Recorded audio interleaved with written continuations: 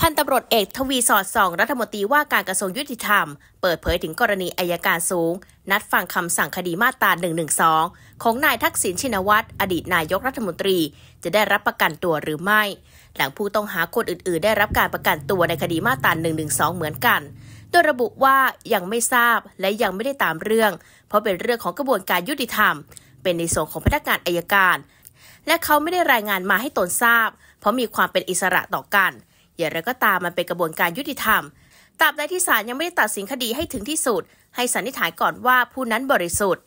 ส่วนนายทักษิณจะได้รับการประกันตัวหรือไม่ พันตำรวจเอกทวีบอกว่าเป็นกระบวนการยุติธรรม เราก็เคารพในองค์กร ขอยืนยันว่ามีความเป็นอิสระต่อกัน เมื่อถามถึงกระบวนการต่างๆ ในการแก้ไขปัญหา เพื่อไม่ให้มีผู้ต้องขังเสียชีวิต เหมือนเกิดกรณีนางสาวเนติพรเสน่ห์สังคม หรือบุ้งทะลุวัง พันตำรวจเอกทวีกล่าวว่า ในส่วนของกระบวนการยุติธรรม เมื่อวันที่ 27 พฤษภาคม ได้มีผู้ยื่นหนังสือมา ซึ่งในบทบาทของกระทรวงยุติธรรม จะต้องมีคณะทำงานไปดูในกระบวนการว่า ส่วนใดที่การปฏิบัติยังขัดกฎหมาย เรื่องใหญ่จริงๆที่เราพยายามแก้ไขอยู่ คือคดีที่อยู่ระหว่างการพิจารณา ที่ศาลยังไม่ตัดสินให้ถึงที่สุด กับคดีที่ตัดสินเด็ดขาดแล้ว ต้องปฏิบัติไม่เหมือนกันพันตำรวจเอกทวีบอกอีกว่า การเสียชีวิตในเรือนจำสถิติมีเยอะ ซึ่งเกิดจากการเจ็บป่วย และเราไม่อยากให้เกิดขึ้นอยู่แล้ว โดยเฉพาะคดีที่ยังไม่มีการตัดสิน ตามหลักการควรได้รับการประกันตัว ยังไม่ได้ทราบไม่ได้ถามเรื่องนั้นค่ะว่าแต่ตอนนี้เหมือนกับว่าในส่วนของผู้ต้องหาคดีหนึ่งสองที่ถูกคุมขังหรืออะไรเงี้ยจะได้รับการประกันตัวทีนี้ก็เลยมองว่าจะแบบคุณทักษิณก็จะกระตือรือร้นตรงนี้ด้วยหรือเปล่าคือคือเรื่องเนี้ยมันเป็นเรื่องกระบวนการยุติธรรมในในส่วนตัวไม่ได้ตามตรงนี้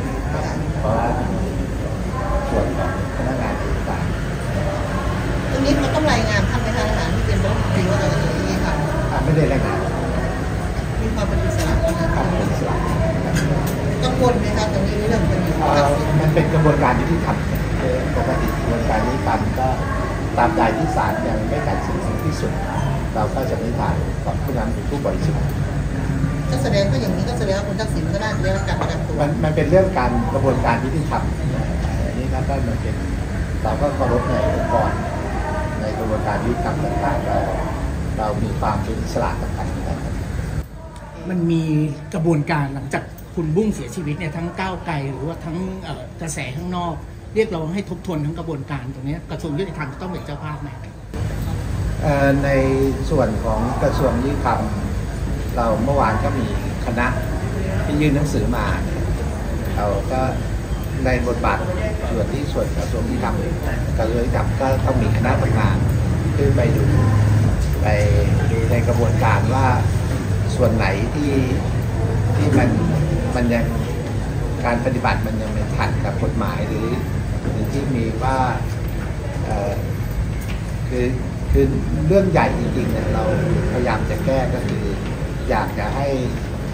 คดีที่ระหว่างการพิจารณาคือที่เช่นว่าศาลยังไม่ตัดสิน หรือยังไม่ถึงที่สุดเนี่ยกับคดีที่ตัดสินเด็ดขาดแล้วเนี่ยต้องปฏิบัติไม่เหมือนกันนะเอ่อคือจะแยกแยกแยกการ การดูแลในเรือนจำซึ่งก็ต้องเรียนว่าขณะนี้สภาพของเรือนจำประเทศไทยเนี่ยเรามีความแออัดมาก ขนาดของเรือนจำเนี่ยควรจะประมาณสักแสนแปดเดี๋ยวนี้เราอยู่สองแสนแปดคือเราโดยเฉพาะผู้ต้องขังระหว่างการพิจารณาเนี่ยมีห้าหมื่นกว่าคนเนี่ยซึ่งตอนเนี้ย เหมือนเราไปปฏิบัติที่ขัดต่อรัฐธรรมนูญรัฐธรรมนูญบอกให้ปฏิบัติตามกัน ซึ่งในส่วนของกระทรวงนี้ทำที่ทำไปก็คือเราไปแก้เสนอไปกฎกระทรวงแก้มาตรา 89ทับหนึ่งก็คืออยากให้ศาลเป็นผู้ไต่สวนว่าถ้าคดีในระหว่างการพิจารณาเนี่ยอาจจะไม่ต้องส่งมาที่เรือนจำนะอาจจะได้อยู่ที่บ้านและใส่กำไรข้อมือ ยกตัวอย่างนะในส่วนที่เป็นอยู่ขณะนี้ก็พยายามจะแยกเรือนจำที่เป็นเรือนจำระหว่างการพิจารณากับที่เด็ดขาดแล้ว เพราะว่าอย่างดีอย่างน้อยคดีที่ระหว่างการพิจารณาเวลาไปศาลเนี่ยเรื่องการแต่งกายก็ควรจะให้แต่งกายธรรมดาเหมือนกัน ไม่งั้นจะเป็นเป็นมุมมองที่ที่เหมือนว่า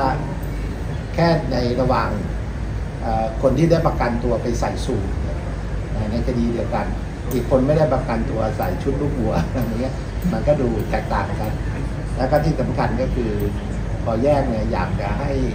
เขาได้มีโอกาสได้เตรียมคดีด้วย เพราะในคดีความต่างๆเนี่ยถ้าอยู่ข้างนอกเนี่ยเขาจะได้เปรียบยังหาทนายได้หาอะไรได้ อันนี้เป็นต้นนะครับ